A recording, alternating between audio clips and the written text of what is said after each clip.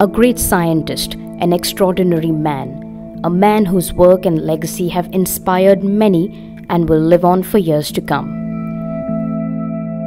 These are the words of Lucy, Robert, and Tim for their father and renowned physicist Stephen Hawking, who passed away at his home in Cambridge on March 14, 2018.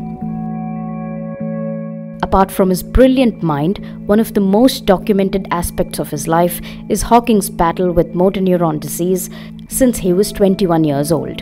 In fact, the movie The Theory of Everything, which was based on Hawking's book A Brief History of Time, shows his transformation from a regular scientist to a genius on a wheelchair with a synthetic voice. When doctors told him he had only two more years, Hawking said that to his surprise, he found that he was enjoying life in the present.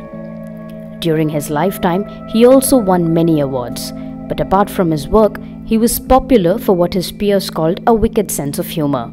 Proof of that are his appearances on TV shows like The Simpsons and The Big Bang Theory.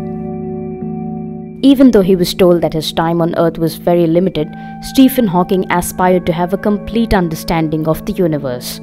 His work on black holes is almost unparalleled, and he is one of the world's foremost authorities in the field of cosmology.